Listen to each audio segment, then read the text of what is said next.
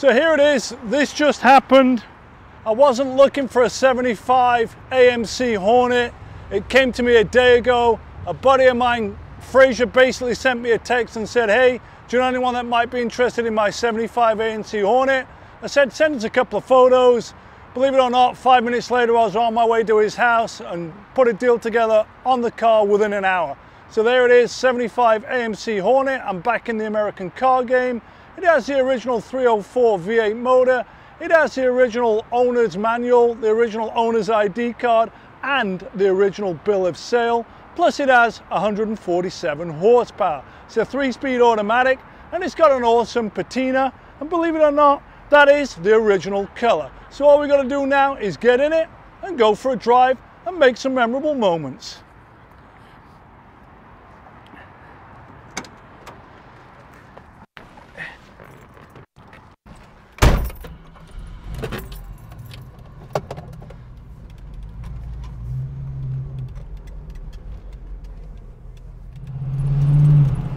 So here we are in the 75 AMC a car that I didn't know I actually needed or wanted, but I'm actually having a lot of fun in it.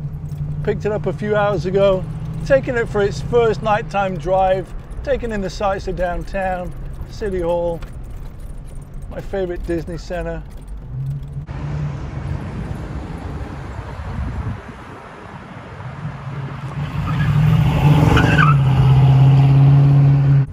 Drive past the Broad, see the big lights, big city lights, big city nights. I do like that place abroad. Looking forward to that opening back up. They do have some awesome art in there and it's free. So what more can you ask for than that? Let's see what else we can find here in downtown LA on a Sunday night. Snap, crackle and pop on the Aston. We can't really compete with that. Because as you know, we got 147 horsepower. I guess I'm not the only one out having fun. Taking in the sights. Looks like they've repaved uh, Grand, the infamous lower Grand below. Bunker Hill, Angeles Flight, the tallest building on the west coast. And now we're just heading down the hill. It's amazing how hilly it is here in LA. This will be the first test of the brakes. Possibly the one weak link so far to the car, for me, is the brake pedal feel. But hey, just something to put on the list and something to take care of.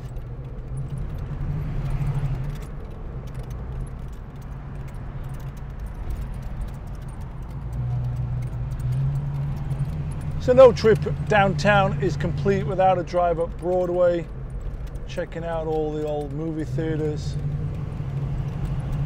just taking in the sights.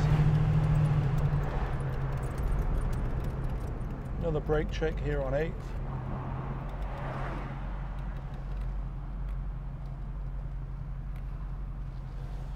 Oh, Baby H.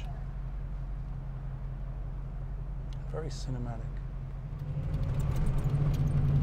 So it's like stepping back in time Everything's antiquated in this car. It squeaks, it rattles, it smells of gas, it smells of oil, it smells of plastic, it smells of the 70s. And you know what? I'm starting to love it. In a weird way, it reminds me of my 69 Super Bee I owned back in the day. I had a lot of fun times in that car. You know, in its current configuration, it's not the fastest car on the road, but it's got a lot of character, it's got a lot of soul, it's got a lot of patina, it's got a lot of heart and it's going to be super interesting to see how this car develops. Right now I kind of feel like I'm just cruising. And you know what? I'm okay with that.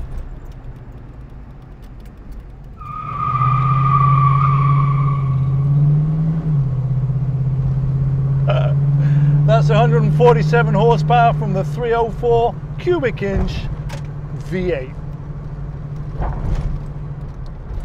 Take City Hall in hard not to do a drive past City Hall and film that. So take a slight detour here.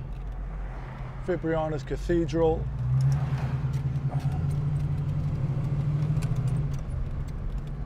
MTA Transit Building, looking pretty dark.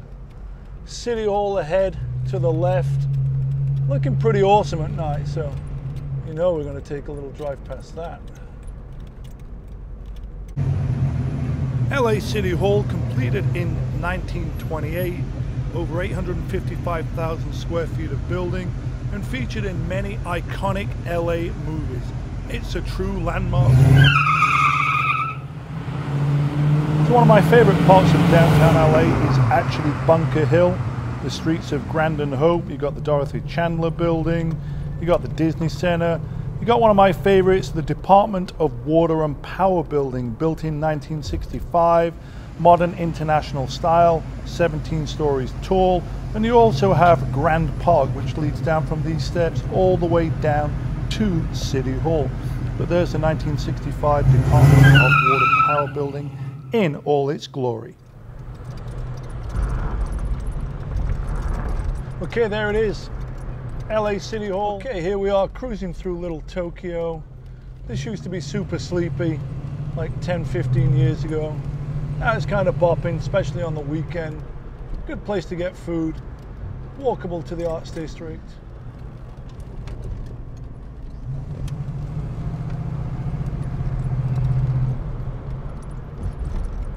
All right, now we've crossed over Alameda into the Arts District. And we'll keep on cruising on to the east side. Looks like these uh, the pedal power boys are out. Pit stopping at the Wurst. So if you guys like uh, dogs, beer and Belgian fries, that's the place to be any night of the week. So as you can hear, the car's got a few rattles and squeaks. We've swapped over the seats. We're working on uh, nailing down some of these little things we've got to change, but enjoying the drive so far, having an awesome time. So here I'm about to turn onto First Street Bridge.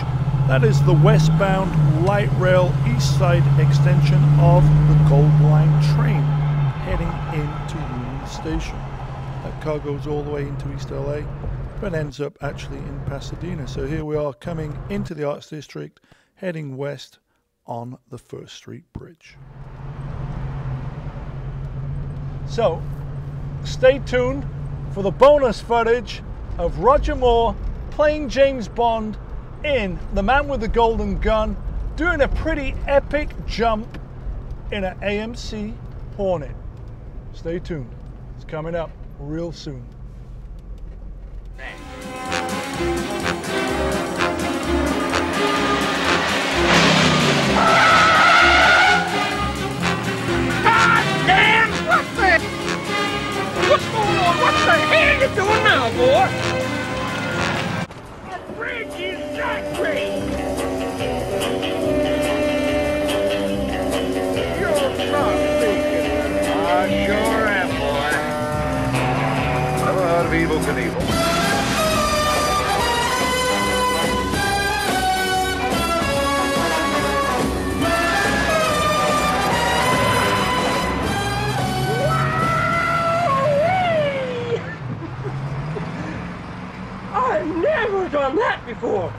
Neither have I, actually.